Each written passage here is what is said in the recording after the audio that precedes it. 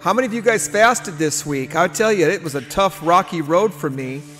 I'm going to have to reset myself and do it again. But uh, I tell you what, failing, you can learn. You can learn something from failing too, guys. I, I can't explain it, but you can learn something from failing. You really can, and you should. You should learn something from failing. And uh, what I'm learning this week is that my problem is a lot more serious than I thought. Fasting is a good way to measure yourself. Can I get an amen if you heard what I said out there? Fasting is a very good way to measure yourself, to see where you're at spiritually, to see where you're strong, to see where you're weak. And when I say strong, I mean by the grace of God. Being strong in grace is how we do anything. But this week taught me something because uh, I, kinda, I guess I kind of got spoiled because this year I fasted more than I've ever fasted in my life with success. I mean, I went two weeks, no food. I'm not trying to brag. I'm trying to make make a point here. I must have fasted th- four or five weeks this year already successfully. Not not in a row, but you know, all all together. But this last week I failed miserably, and I'm depressed, and I almost didn't want to do the Bible study. I'm really sad.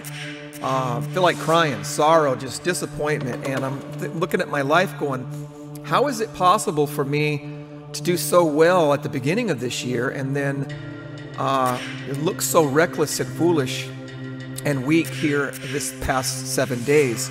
And, you know, really meditating on the true answer, and not deceiving myself, not, you know, making things up.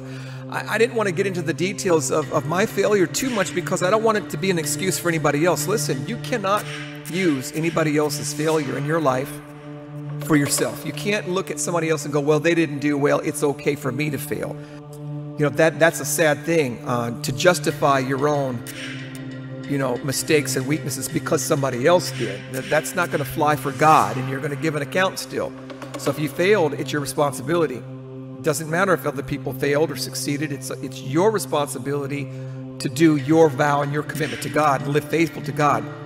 You know, I'm just going to you know take some time to really meditate. Uh, what do we do we, when we go through these cycles? We go up and down. We go up and down, and uh, you know, some of us are pretty steady and steady flowing, and, and uh, that's a beautiful thing. And we get that way. And I'm, I'm sure that uh, by the grace of God, we'll come out of it. We come out of these times when we are failing and doing poorly.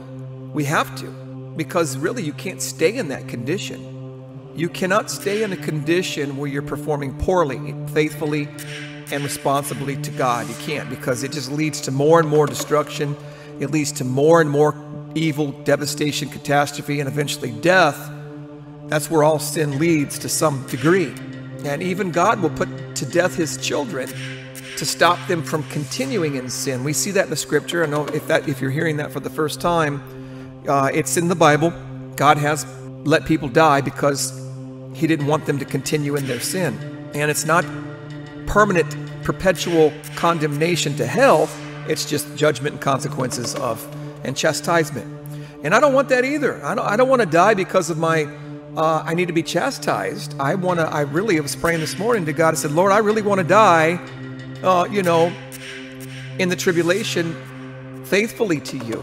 I'd rather die from starvation. I'd rather die from getting my head chopped off. I'd rather die from going, running in the woods and starving to death. Anything other than from sin. Can I get an amen if you're with me? Now, I've said enough about this.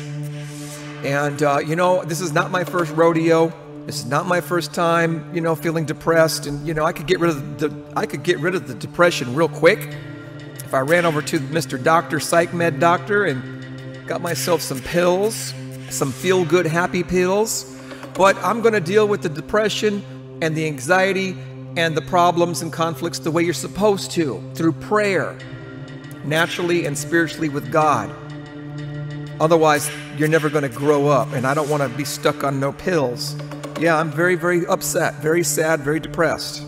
But I also know the answer, and I know what I got to do.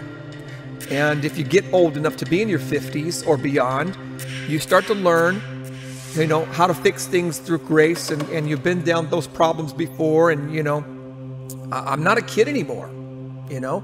But you know, we're really, we're really sad. As sad is that when you make childish mistakes when you should not be doing that anymore. That's what's really got me aggravated right now. Some of the stuff is You know, I know better. I know better than to watch uh, some of the movies I've been watching.